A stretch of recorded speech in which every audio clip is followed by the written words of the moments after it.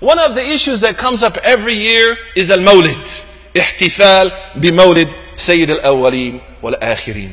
And what happens, we find, you know, sometimes the community, people get upset, they start to argue, start to fight, and they forget this important lesson. We should differ without being disagreeable. I remember my first year in Al-Azhar, in the college, not in the high school. I have a high school degree from Egypt, alhamdulillah.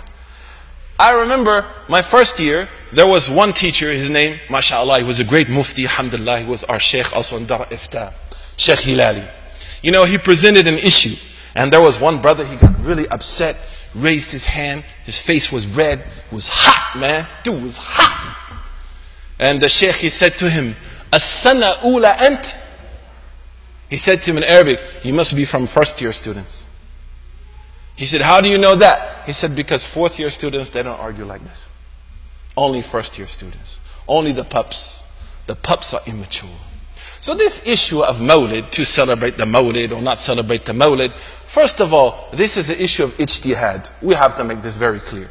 This is the issue where the scholars differed from the very early days. In fact, Al-Khattab Al-Maliki, Kha, not Ha. He's the first one to write the book Tanwir bi Mawlid Bashiri wa Nadir, sallallahu wasallam. And when he wrote this book in the 5th century, he was a great Maliki faqih when he wrote this book, the Khalifa gave him 500 gold pieces.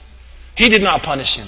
He gave him 500 gold pieces. And Al-Maqarizi, radiallahu anhu, the great historian, he said, from that time to my time, and uh, he lived in the 9th century, he said, all the people who were Khalifa, to, from that time to this time, celebrated the Mawlid of the Prophet with the ulama, especially the scholars of hadith and the scholars of fiqh. The point is that I want to make here, and I'm pro Mawlid, I have to be honest with you, but I respect the other opinion, alhamdulillah, that this opinion is something that the scholars differ on. You're not going to read about the scholars fighting, destroying a masjid, killing each other, talking bad about each other. They will argue the positions. They will discuss the positions like Shaykh al-Islam Ibn Taymiyyah, rahimahullah, and how Ibn Hajar, he answered Ibn Taymiyyah, and As-Suyuti answered Ibn Taymiyyah, and a Sakhawi answered Ibn Taymiyyah in his position on the mawlid of the Prophet sallallahu but they did not allow it to destroy their brotherhood. In fact, I'm reminded of a beautiful story of Imam al-Shafi'i, rahimahullah. Imam al-Shafi'i, once he was arguing with his student, and it got heated to the point that his student got up and ran away. Al-Shafi'i, he ran after him and he grabbed him and he said, don't forget your brothers. Don't forget the brotherhood. Unfortunately, every year in America, a number of things happen that destroy our brotherhood. Mawlid, should we fast Ramadan in this time or that time? Should we break our fast and Eid on this time or that time? Should we vote? Should we this? Should we this? It should not destroy our brotherhood. All of these are areas where the scholars are going to differ. In fact, Imam As-Suyuti, radiallahu ta'ala, he wrote a very good book, Husn al-Maqsid fi Amal bin Mawlid. And in that book, he mentioned how the scholars differed on this issue and how other scholars said it's okay. The point I want to make though is that the mawlid is not a bid'ah in the strong sense of the word. Bid'ah hasana and the jamhur fuqaha. And this definition of a good bid'ah and a bad bid'ah is found in all four schools of thought. The Hanafis, the Malikis, the Shafis, and the Hanbalis. Hum fuqaha. Those ulama who came after them, after the time of Sheikh Abdul Radiallahu anhu, Shaykh al-Islam Ibn Taymiyyah, and uh, this started with Ash-Shatibi, radiallahu anhu, they have a different taqsim al-bid'ah.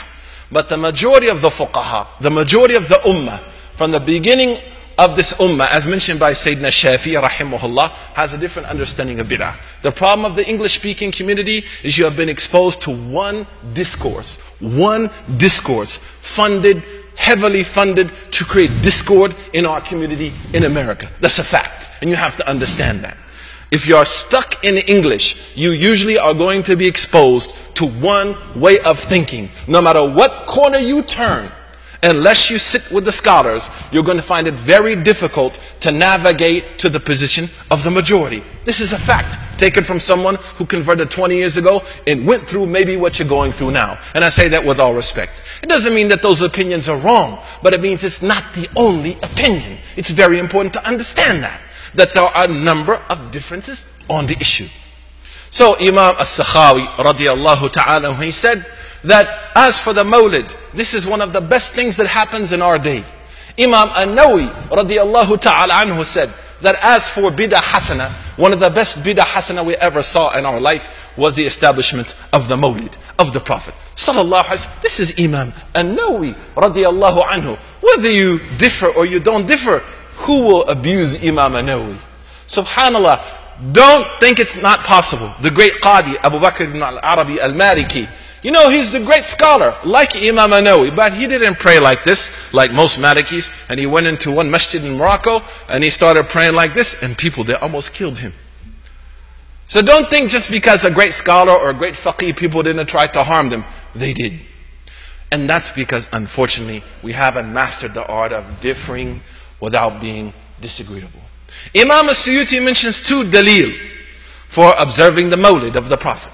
The point about I want to make here is we should not say it's bid'ah, bid'ah madhmuma, because bid'ah madhmuma means laysa laha asal.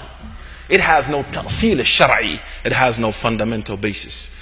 Imam As-Suyuti radiallahu ta'ala anhu said, the first evidence is that the Prophet sallallahu alaihi wasallam fasted on Mondays. When people ask him, why you fast on Mondays? He said, this is the day I was born. يعني بين العلة as As-Suyuti he mentions.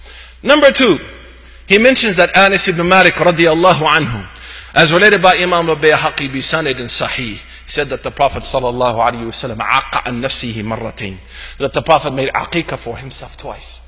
One was by his uncle, but the second as an old man in Medina, the Prophet as related to us by Anas, with sound isnad, he made the aqiqah for himself. As-Suyuti, he said, وَهَذَا الدَّلِيلِ This is an evidence. This means it's not bid'ah. This is an evidence that the Prophet ﷺ was showing us the importance of his day of birth.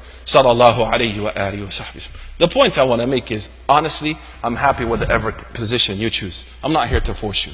But what I want to do is bring some maturity to our communities. We cannot destroy ourselves over issues like this when we have bigger problems in our community. Look at Syria. Look at Egypt. Look at the illiteracy rate of Muslims in some countries. I traveled to one Muslim country. The illiteracy rate amongst women is 60%. If we were more, more encouraged and more motivated to remove polio and illiteracy from the Muslim lands and to build proper Muslim communities where we are able to serve each other, then these little issues, Allahi, things will be much better. So the point I want to make is, regardless of what position you choose, these are not issues that we should destroy ourselves over. Ash-Shafi'i, rahimahullah, he said in Al-Umm that the issues of ijtihad, these issues where scholars are going to differ, no one should raise his hand to another person, meaning he should not hit or she should not hit that person. Nor should they abuse that other person. But as I mentioned in the beginning of the khutbah, they should discuss them with justice. And they should engage them with proofs. We ask Allah subhanahu wa ta'ala, even if we differ, to not forget that we are brothers. Look at the companions of the Prophet sallallahu alaihi wasallam. When the Prophet sallallahu alaihi wasallam sent his companions to Bani Qurayza and he said, pray Asr when you reach Bani Qurayza. And they differed in Sahih Bukhari. As they were going to Bani Qurayza, the time of Maghrib came and some Sahabi said the Prophet sallallahu he did not know that we're going to miss this time of Maghrib, we have to pray Asr now. The other, they said, La, we have to obey the letter of the law. We'll pray after Maghrib, even Asr. So you had two groups. They didn't fight each other. They didn't kill each other. They didn't destroy each other. They didn't make YouTube posts about each other. They didn't blog about each other. They didn't slander each other. And they got there, and the Prophet ﷺ, he did not say, you're right or you're right. He sanctioned both actions. Sallallahu alayhi wa alihi And this hadith is one of the most important hadiths in the Bab al-Iftah and Bab al-Ijtihad. Because it creates a sense of ethics and love and brotherhood and sisterhood, even if we differ.